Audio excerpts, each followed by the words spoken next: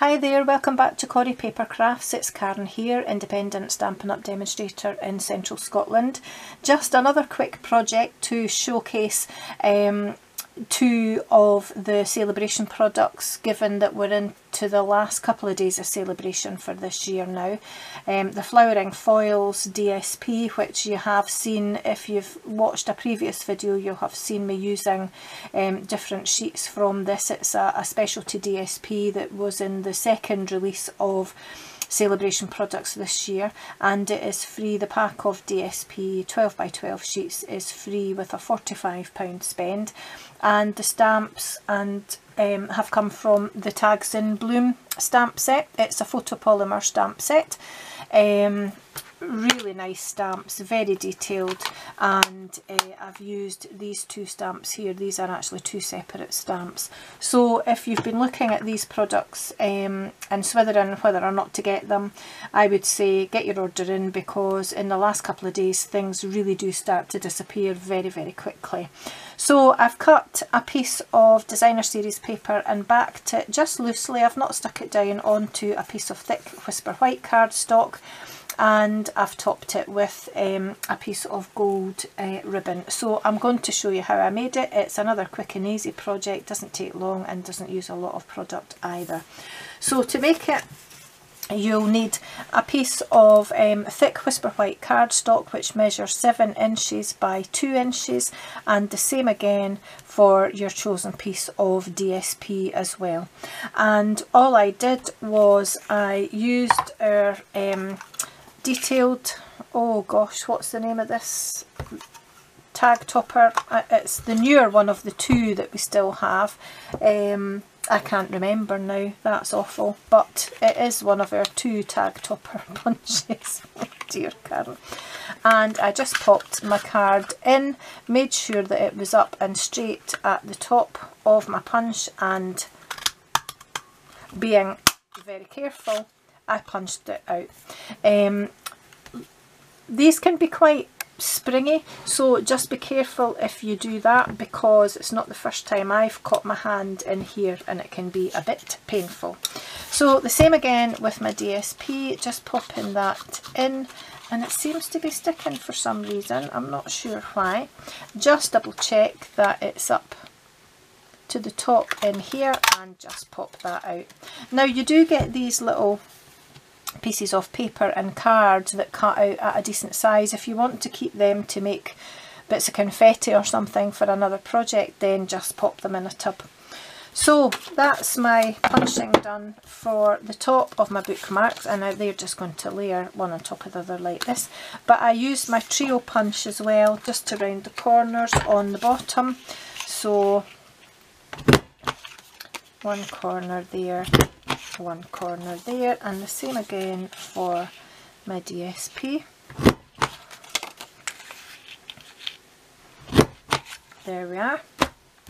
And then I just joined those together with a piece of our shimmer um, gold ribbon and it's quarter of an inch thick so I cut a length of ribbon it's not measured exactly, just however long you want the tails on your bookmark to be. That's maybe a little bit long, but never mind. Oops. And all I did was I popped them through from the back to the front,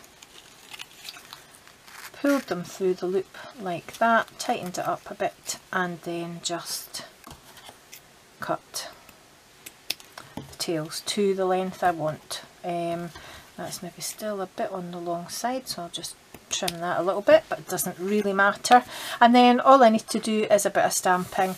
Um, I did use some heat embossing for this. It's uh, not as straight as I would have liked it because the Versamark ink is really hard to see when you're lining up the stamps so you might see a bit of my head um, when I do my stamping for this. So I just need another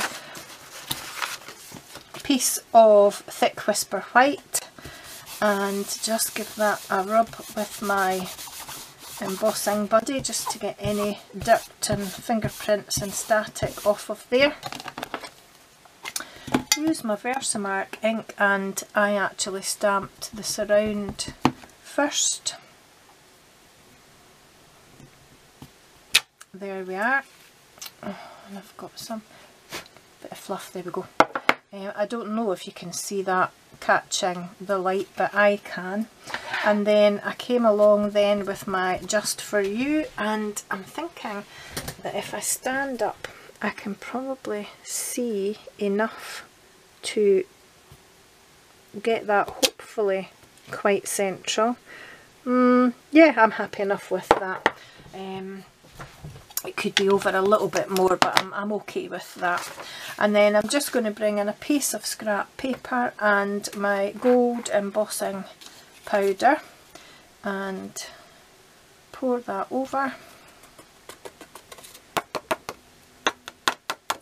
Just take off the excess and just get rid of any extra bits that I don't that I don't want um, shouldn't have blown that because I've just blown powder across the desk. oh dear.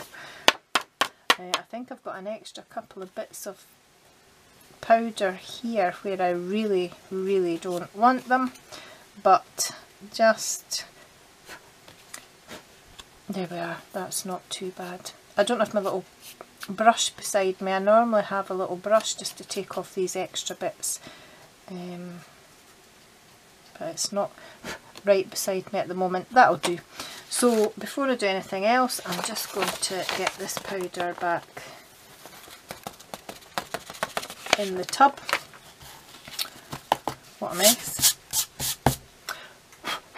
I'll tidy the rest of that up later because I really have made a mess. Never mind and I'm going to switch my heat gun on and I do have it plugged in this time. I'm quite famous for not plugging it in before I try and switch it on but it is switched on today so it's going to get a little bit loud. If you want to turn the volume down then I would do it that just now. And I'm just going to let it heat up a bit before I actually bring it to my embossing powder so that it's hot when I start. And then I'm just going to hover it over my powder until it starts to melt and you should see it starting to go now.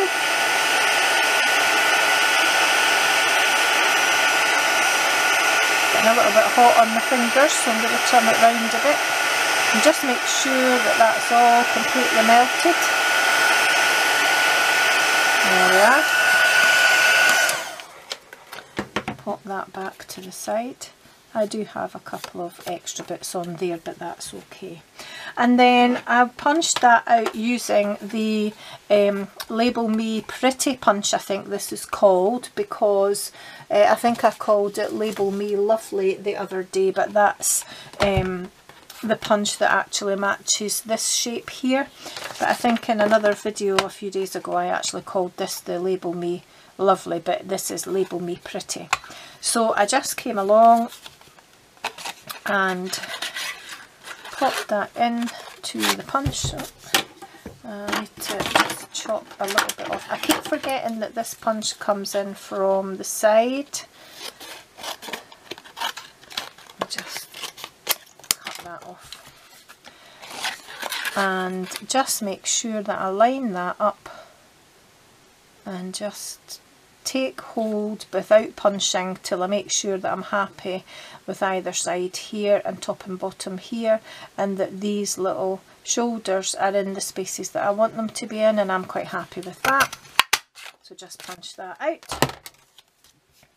And then I popped some tearing tape on the back of here because I want that to stay quite flat because it's going inside a book.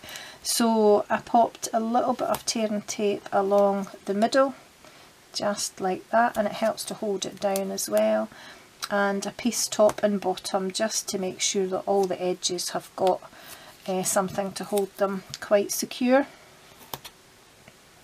Last bit just on there. Did you notice that uh, didn't use my ruler? I actually just used my fingers, that's not like me. um, and then just take the backing tape off.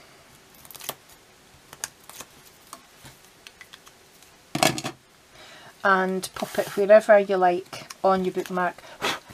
Get rid of all the powder because it really is everywhere. What a mess. Um, and I don't know whether to put it in the middle or at the bottom. No, I think I still prefer it in the middle. But before I just let it go and press it down completely, I just want to make sure it's straight and lined up either side. There we are. And that's it. Gosh, what a mess. I really am going to have to uh, wash my desk now. So that's it for this project here, very quick and easy, I hope you like it. Um, and now I can actually read two books, there you go. I'll probably give one away. Um, I'm not sure who to, but I'll give it to somebody. So thanks again for watching. As I say, if you want any of the Sale-A-Bration products that are still available, then I would be quick because they're not going to hang around over the next couple of days. So if you've got your eye on something, then get your order in if you can. I hope to see you again soon. Take care. Bye bye.